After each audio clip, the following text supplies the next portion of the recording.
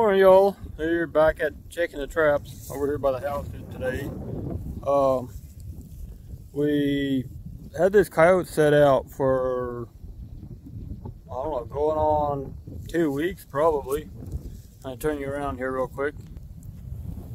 I had this set out, caught a possum like day two, and we set it right after we had uh, had some snow and I don't remember, sure, a little colder weather or something. But uh, the reason I sat here on top of the levee, there's a creek right there, and there's a heavy game trail comes up here, and then uh, over here, oh yeah, they can go right over here. They can go a little bit along the top of the, like right, right across there. They can go across the top, but then they still got to end up going down the field. Well, in that snow, there was three sets of tracks came out across the field about oh about halfway from that little ditch that they just worked on until up there that fresh dirt. And there's three sets of tracks going all the way across. They came right up here and right through here and went down this trail. Well, then over here, coming down this levee on this side, there's at least two sets came down and went I think they went down this trail as well. But they, um, I mean, there was there was a bunch of tracks here. Well, this thing's been sitting here that long, and only caught a possum. I caught one coon down here. I put a put a coon trap or a dog proof down here. I got one over there somewhere right, right along the edge of the grass uh, to try to keep them out of here, but we still ain't still ain't caught no no coyotes. So, um, I was I was expecting a little bit more fur this morning because yesterday the load was yesterday morning when I left the house it was like 15, and then it warmed up this morning. I think it's like 30. So I was expecting more fur. Yeah, we moved some traps yesterday, so I'm expecting a little bit more anyways. But seeing these two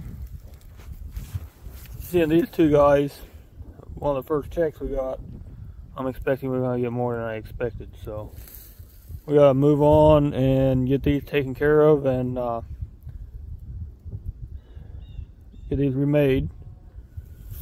And then see what else we got. If we got as much as, as it looks like we might, we're to have a full day. So see you all around.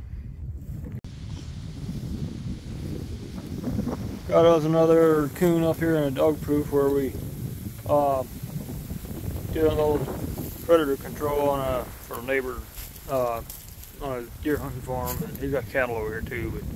But uh, we just set this yesterday. Set a couple of them. Didn't have nothing down there, but uh, this one, it's on a point. You can see like timber comes out, and there it goes back in a little bit. Um, we came up through here along this edge, and we see this trail, going right there, right behind the coon, you can see that trail going down through there, which he destroyed the end of it. It was, it was like, it was actually more visible back there, or up front, than it was back through there. But, um, oh, just look at all these tracks over here. I mean, there's coon tracks everywhere.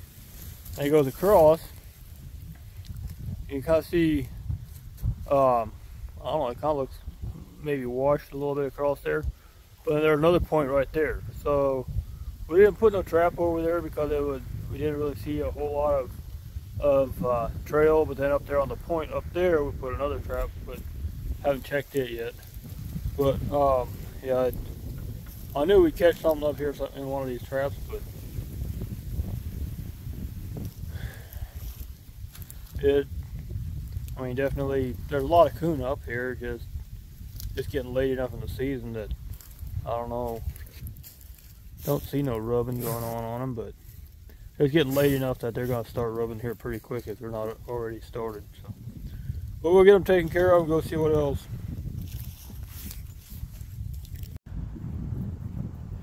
Oh, got another coon up here at this coyote set. So apparently I ought to put me uh, dog proof or something over here, try to get them before they get in here. Probably part of the reason we ain't catching no coyotes is coons and the possum get in everything before the coyotes get here. But um, we'll get him taken care of and then we'll go check our beaver traps. Well guys, I'm just a little bit disappointed. Set these three beaver traps yesterday. I figured we'd have at least two of them this morning. And get here to check them and there ain't nothing. I mean, it warmed up some, like kind of, kind of figured they'd get out and go do all their castor mounds and all that stuff, but that one's still set underneath there. And then that one over there is still set. And I don't really see, well, there's bubbles out there, but I kind of think that's about like it was yesterday, so.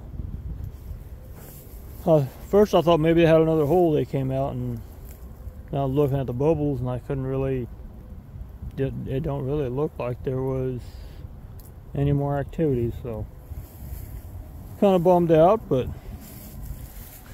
that's the way it goes when you're trapping. So, anyways, we'll see y'all on the, I guess tomorrow when we go checking these traps. I guess we'll see you tomorrow. So, thanks for watching.